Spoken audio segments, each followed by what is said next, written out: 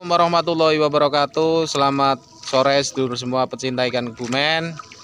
Hari ini saya masih di tempatnya Pak Sarjo Di Kecamatan Ambal, Kabupaten Kebumen. Beliau mau, mau memberikan tips Bagaimana caranya memelihara ikan nila pembesaran di kolam air tenang.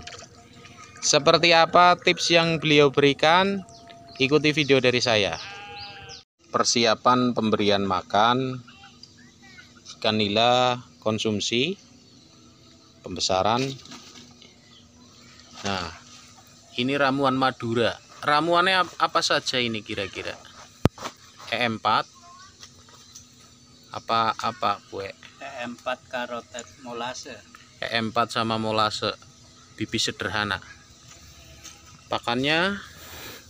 T78 sama T78 sama LP ya? LP Iya.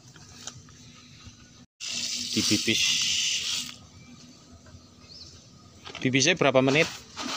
paling 10 sampai Nah, bibis 10 menit.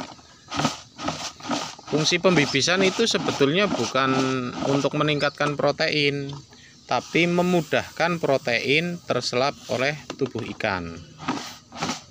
Betulnya seperti itu.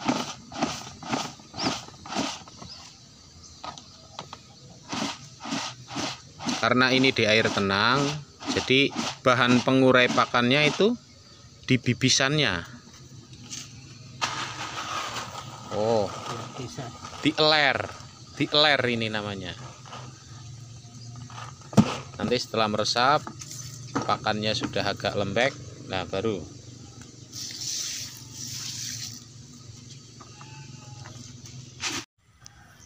Pembesaran dimulai dari pembibitan. Nah, ini pembibitan di segmen kemarin di video kemarin sudah saya jelaskan nah, tentang pendederan ikan nila di kolam air tenang. Nah ini pembesarannya segmen pembesarannya. Kalau ini terlalu padat jadi untuk segmen pembesaran di air tenang tebarnya jangan terlalu padat. Maksimal itu 60 ekor per meter kubik. Pertanyaannya adalah kalau kolam ukuran 3 kali 4 kedalaman air 1 meter muat berapa?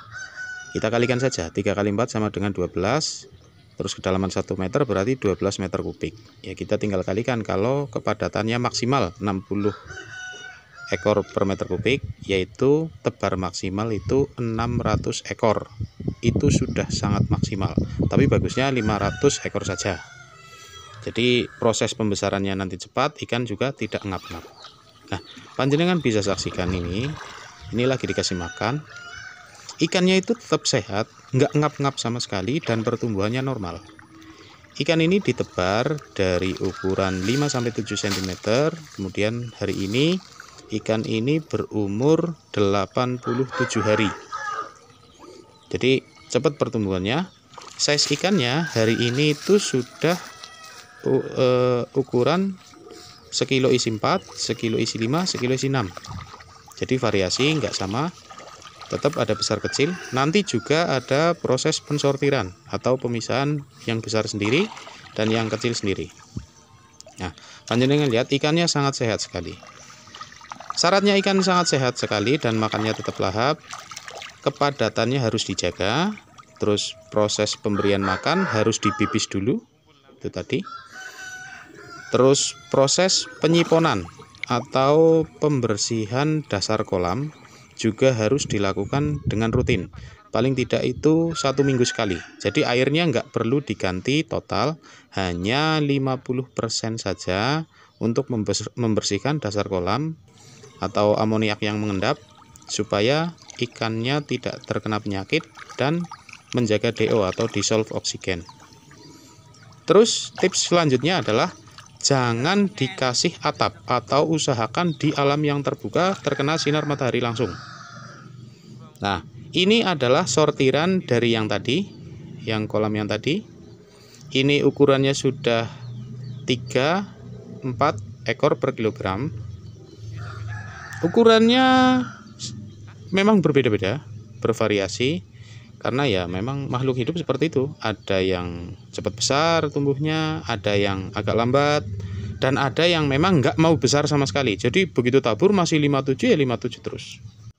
Tips selanjutnya adalah berikan pakan sesuai dengan biomasa ikan dengan manajemen ikan. Nah Pak Sarjo ini memberikan pakan dengan manajemen 5% dari biomasa atau 5% dari ikan hidup jadi ikan nggak terlalu kenyang dan juga nggak terlalu ngap-ngap ketika kekenyangan Nah, panjenengan bisa saksikan ini. Ini adalah hasil ikan yang sudah siap panen. Eh, ini malah lebih besar lagi nih. Ini ukuran sekilo satu, 1000 gram, ada yang 1200 gram. Jadi tetap di air tenang pun dengan waktu yang singkat, asal dengan manajemen yang baik, ikan tetap bisa bertumbuh dengan baik, bertumbuh besar, dan tetap semangat para pembudidaya ikan. Sekian video dari saya. Semoga bermanfaat. Ada kekurangan minta maaf. Assalamualaikum warahmatullahi wabarakatuh.